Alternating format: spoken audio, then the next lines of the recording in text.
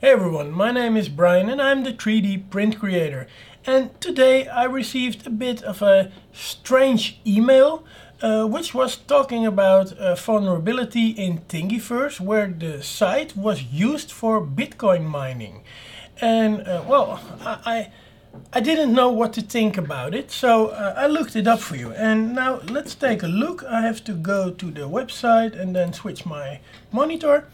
And now you guys can see which email I received. And uh, the opening line of it, it, it's coming from All3DP. It's a news source that uh, brings you all kind of news uh, on a mailing list and uh, I'm subscribed to that mailing list so I get all kinds of news and oh, it's nice to, to see what's happening in the world of 3D printing.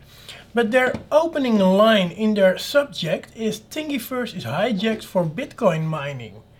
And then another article, Amazon secures 3D printing patent, blah blah blah, and a lot of other articles. Then I was looking in this email for this, this subject. And well, I can tell you it's not there. Uh, nowhere in this article they are talking about their opening line that Thingiverse is being used for crypto mining.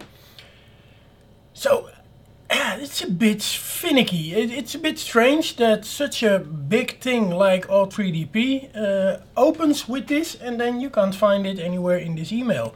So I was looking on the internet if I could find something there on Thingiverse because if there is something wrong with the site I think I can find it there. And I couldn't find it also in the dashboard I can, couldn't find it and even if you look it up uh, here on, on the, the search bar you won't find anything about Thingiverse being used for Bitcoin mining. So then I did a Google search and this is where I found this page which is on makerbot.com uh, and on makerbot.com there is a, a, small announcement of what has happened uh, that Thingiverse stopped malicious crypto mining attempts. So uh, they don't say it really happened. They don't say it, it's it's really a thing that that is happening. But they say there were attempts to do crypto mining on their website. Uh, they also explain how people did it and how the site was a little bit vulnerable uh, for this this malicious attempts. But then uh, they also explained that they stopped it and that they're continuously uh, looking for ways to to monitor this. And uh, that also uh, it was not it was not a big thing.